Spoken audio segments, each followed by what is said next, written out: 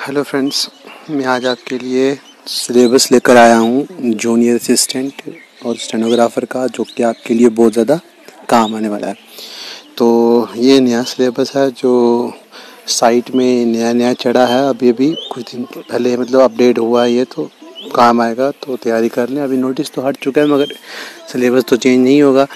और ये सिलेबस जो है स्टेनोग्राफर और जूनियर स्टेनोग्राफ सॉरी स्टेनोग्राफर और जूनियर असिस्टेंट के दोनों के लिए काम आएगा। तो सिलेबस में है क्या कि ट्वेंटी परसेंट सीधा सीधा आपको दे दिया गया है इंग्लिश के लिए और इंग्लिश में बहुत ज़्यादा मेहनत करनी पड़ेगी आपको। ठीक है, और दस परसेंट के लिए आपकी जनरल एबिलिटी और दस परसेंट में आपका कंप्यूटर आ जाएगा। ठीक है, एक तो है कि कंप्यूटर में अगर ना भी इतना ज़्यादा जानकारी हो तो चल जाएगा, मगर इंग्लिश में तो छोड़ना बनता नहीं है, क्योंकि बीस मार्क्स का चक्कर है।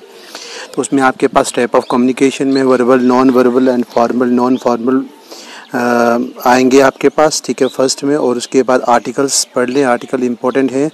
उसके बाद देखा जाए तो rearrange of words sentence meaningful sentence paragraph verb के बारे में उसकी फॉर्म वगैरह वो देखनी पड़ेंगी और वर्ब का यूज़ एक्टिव पैसिव वॉइस वगैरह वो देखना है। उसके बाद आंसर द गिवन क्वेश्चन और गिवन पैराग्राफ मतलब पैराग्राफ दिया होगा कंप्रीहेंशन पैराग्राफ होगा। और मगर आपने क्या करना है, उसमें से आंसर देने, नीचे क्वेश्चन दिए होंगे चार या पाँच। एंटोनियम साइनोनियम नाउन प्रनाउन पे क्वेश्चन होंगे और टेंसेस पे बेस्ड क्वेश्चन होंगे, ठीक है? करेक्शन वगैरह रूल वगैरह पे बेस्ड क्वेश्चन होंगे।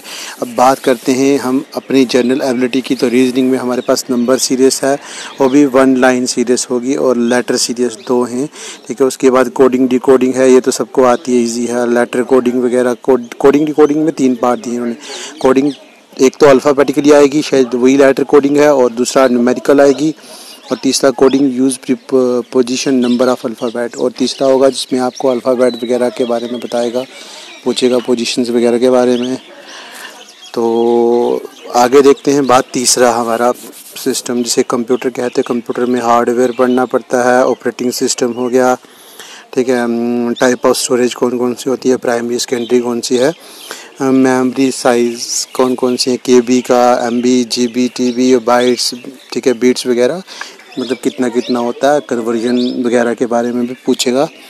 उसके बाद देखते हैं तो हम, हमारे पास बेसिक शॉर्ट कमांड्स वगैरह जो होती हैं, वो देखनी है। ईमेल इंटरनेट में क्या फ़र्क रहता है वायरस और एंटीवायरस क्या होता है, किसने डिस्कवर किया, कब हुआ, ये सब जानना है। देखो, जो भी चीज़ पढ़ी है, उसमें हमें कब किसने किया, कहाँ यूज़ होता है, वो होता क्या है, और मतलब लेटेस्ट वर्जन जो यूज़ हो रहे हैं वो देखने हैं आपको। आई होप ये वीडियो आपको बहुत ज़्यादा हेल्प करेगी। तो thank you please subscribe my channel